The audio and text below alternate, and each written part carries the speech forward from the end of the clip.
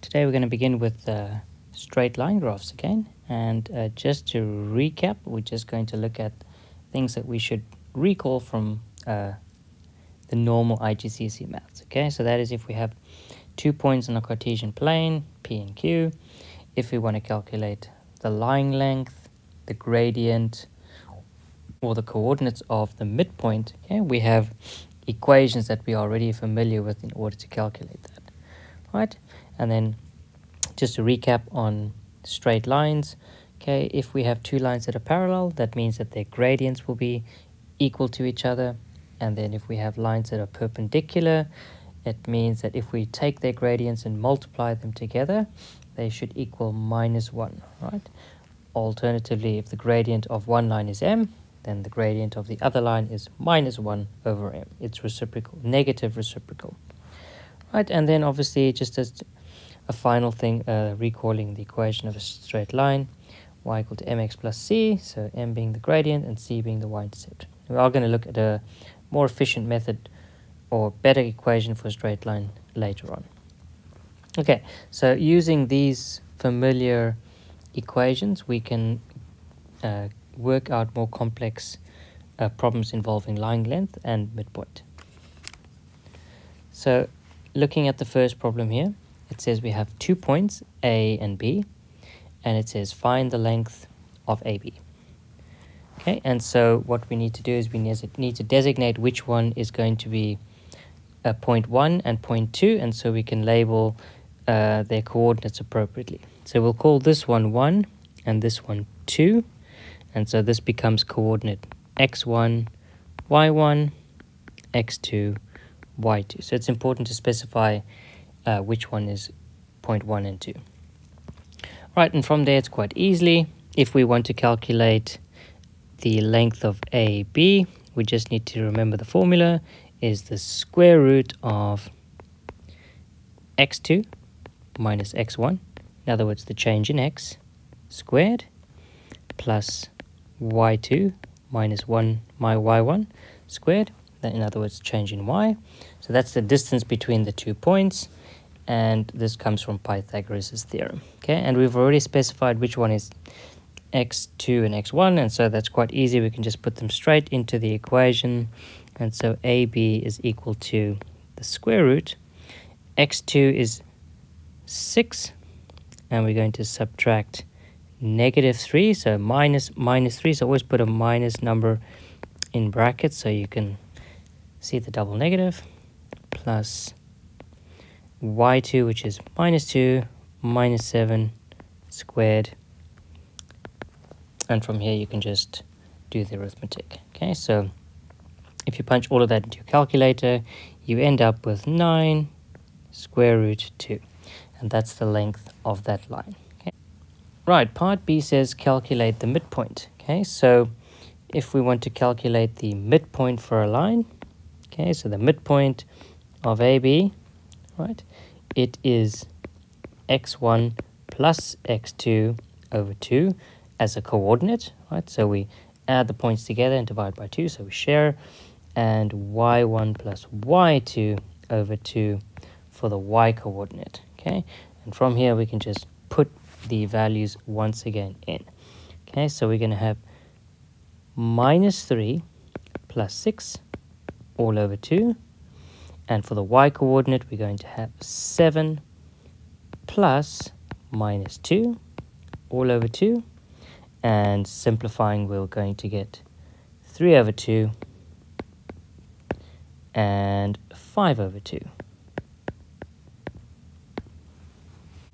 All right, so we should be familiar with problems like this. These are the same kind of problems that you could have expected in IGCSE at extended level.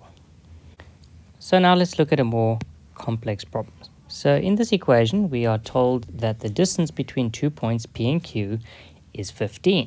Okay, and we're given the two coordinates, and we notice that in the coordinates, two of the uh, one of the y coordinates and one of the x coordinates is some constant a, and we need to find this value. Okay, we're also very importantly we are told the distance between the two points.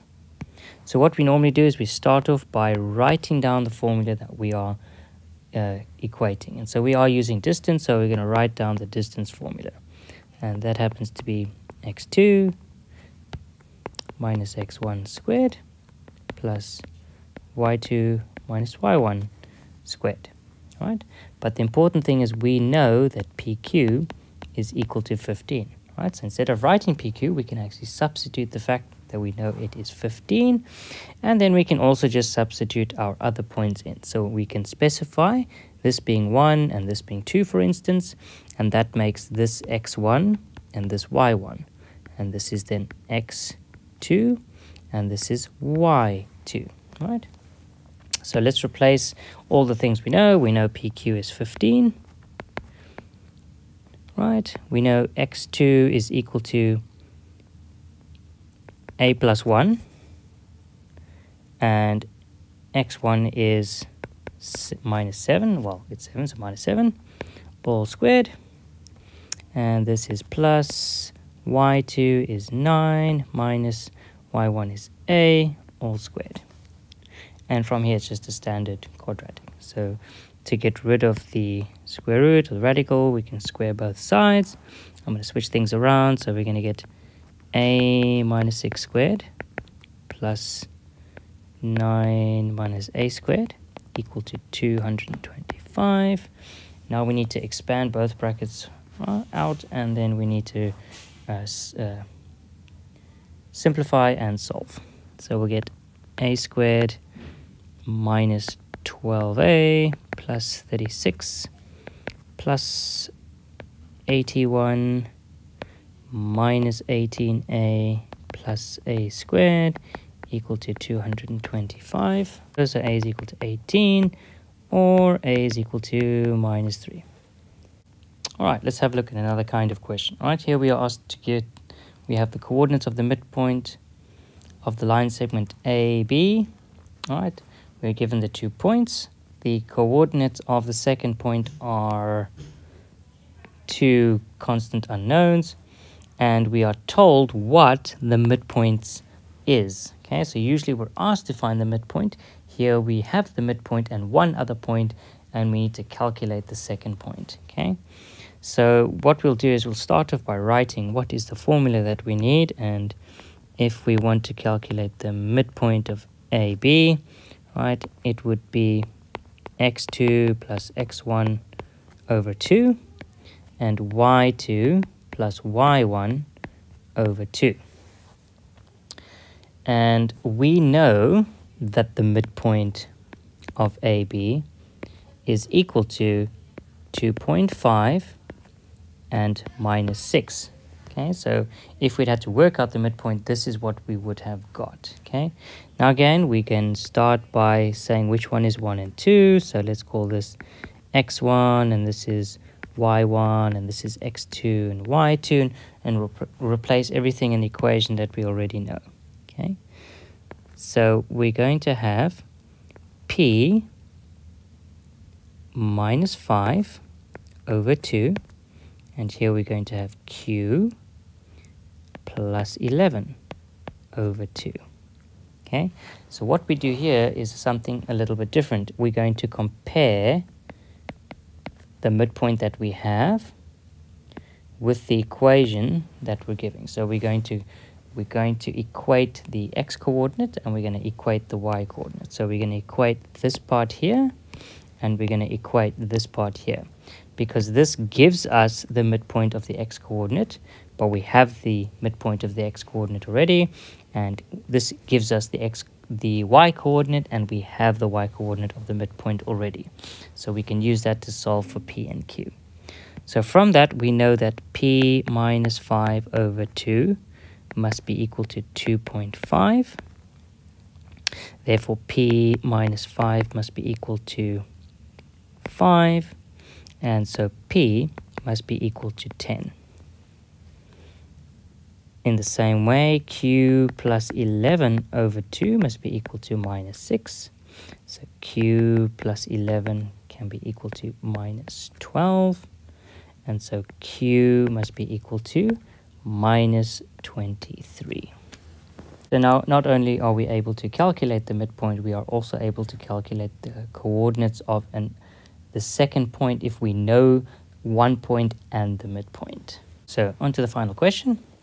We're asked, well, we're given three of the vertices of a parallelogram, A, B, C, and D. We have their coordinates, and the first thing we're asked to do is calculate the midpoint of AC, okay? So we'll have a look at AC, and we'll say, well, I have the coordinates for A, and I have the coordinates for C, and so there shouldn't be any problems. So what we'll do is we're going to start off by writing the equation that we need we want midpoint, so we can say the midpoint of AC is equal to, well, the x-coordinate is x2 plus x1 over 2, and the y-coordinate is y2 plus y1 over 2. So for AC, let's specify 1 and 2. That gives this x1, this is y1, and then this is x2, and this is y2. So we can substitute those into our equation and calculate the midpoint. So we have 14 minus 10 over 2, and we have 4 plus 1 over 2. This is going to give us the midpoint of AC as, well, it'll be 4 over 2, which is 2, and 5 over 2, which is two and a half. Part B says calculate the coordinates of D. Okay, so we don't know what the coordinates of D are, and so just like in the previous example, what we'll do is we'll just give them some variables or a letter so we can calculate them. So for instance, we could say that point D is P slash Q. So X is P is the X coordinate and Q is the Y coordinate. Okay. Now from here we need to remember the well the principles of a parallelogram. Okay, so if we have some parallelogram, we can draw one quickly.